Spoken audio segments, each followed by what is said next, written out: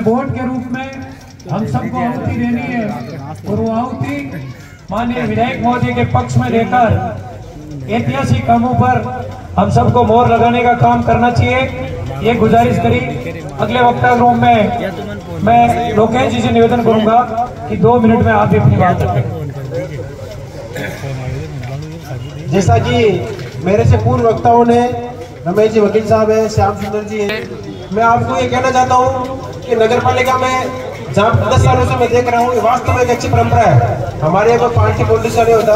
आदरणीय रुचि जी बोरा के समय भी रिकॉर्ड तोड़ विकास है परिवर्तन के अंदर। और हमारे ओम जी चेयरमैन साहब है इनसे के माता हमारे कभी विकास में कोई चीज़ रोड नहीं आते। अब मैं आपको बताना चाह रहा हूँ कि राज्य सरकार ने कांग्रेस की सरकार ने और यहाँ की लोकप्रिय विधायक ने रामनिवास जी गावड़िया साहब को युवाओं की जो बात सुनी, उसके बारे में बताना चाह रहा हूँ। हमने इनसे छोटी मोटी कई बातें रखी। एमएलए साहब, आपने ग्रामीण क्षेत्र में सोची बाबा का मंदिर था, वहाँ लाइट की व्यवस्था करवा दी पानी की करवा दी सड़क की करवा दी वो हमारे लोगों लोग देवता है। फिर शहर के समाज के लोगों की इच्छा थी कि साहब सती माता का हमारे मंदिर है। एमएलए साहब पास गया पंद्रह बीस लोग साथ में गए कि साहब, ये नगर पालिका क्षेत्र में आता है हमारे सती माता का मंदिर। वहाँ रास्ता भी सकड़ा है। दस फुट का रास्ता है, दूर दूर से यात्री वहाँ आते हैं चमत्कार स्थान है। एमएलए साहब ने वहाँ भी डामर की सड़क करवा दी।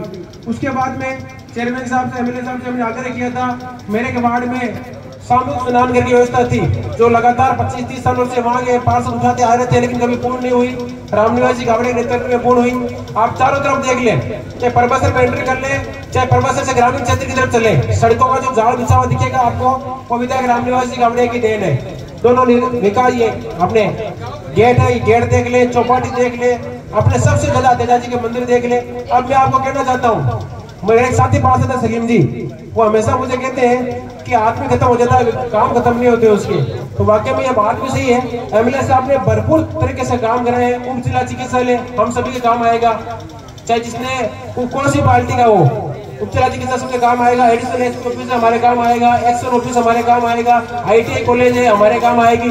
शहर में जो अभूतपूर्व विकास कार्य हुए उसके लिए मैं तय दिल से युवाओं की ओर से और पूरे कांग्रेस कार्यकर्ताओं की ओर से एमएलए साहब को धन्यवाद देना चाहता हूँ। उसी के साथ मैं आपको विश्वास देना चाहता हूँ एमएलए साहब और रात के समय में इतनी भीड़ खड़ी है। निश्चित तौर पर लोकतंत्र के स्मार्ट पर्व में बेहतर तरीके से आहुति देंगे और आपको दोबारा प्रबल से विजय बना के भेजेंगे। जय हिंद, जय भारत। बहुत बढ़िया, लोकेश जी। लोकेश जी ने तमाम विकास कार्यों के बारे में भी आप सबके बीच में अपनी बात रखी।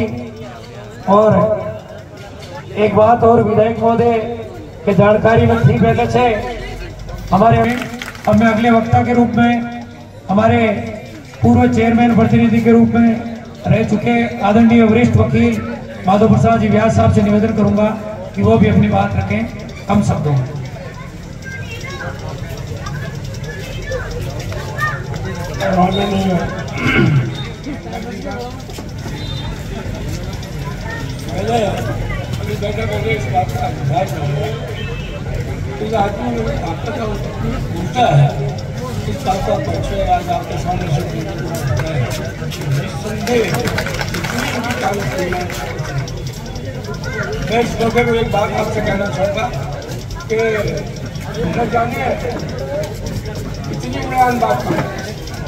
न जाने। इतनी उड़ान बाकी है? इस परिंदे का विचार बाकी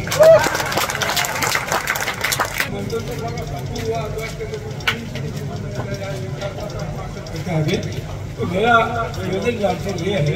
कौन भाई आपको बहुत पुस्तक से सारी बात अन्य और भी आपको साफ़ कर दिया और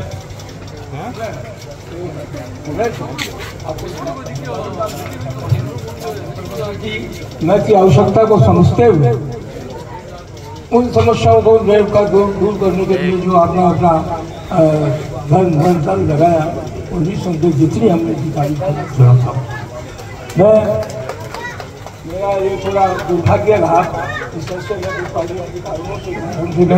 मैं कई बार बीच में आपके पास उपस्थित नहीं हो सका कोई मृत्यु हो मेरे परिवार में अपने कारण मैं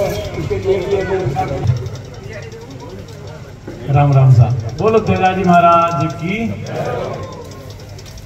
आज नगर पालिका क्षेत्र के विभिन्न विकास कार्यों के उद्घाटन समारोह के मुख्य मेहमान आदरणीय विधायक रामनिवास जी गावड़िया साहब सम्मानित मंच शहर से पधारे बड़े बुजुर्गों माताओं बहनों युवा दोस्तों काम दपाऊ या સૌ પહેલી તો પ્રોફેસર શહેર की जनता ई बात को हार्दिक आभार देऊं धन्यवाद देऊं કે જીદન સત્તાવીસ ને અઠાવીસ તારીખ પ્રોફેસર વાળું જીદન एक मोटो मेड़ो मंडियो तेजा बाबा की मेहरबानी हुई भी दिन अप्रत्याशित सहयोग जो शहर की तरफ़ मिलो भी के वास्ते शहर का प्रत्येक नागरिक को ते दिलो हार्दिक आभार